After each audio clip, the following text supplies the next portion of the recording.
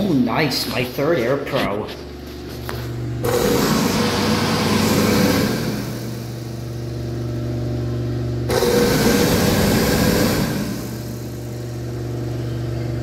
This was made in the fourth week of 2000.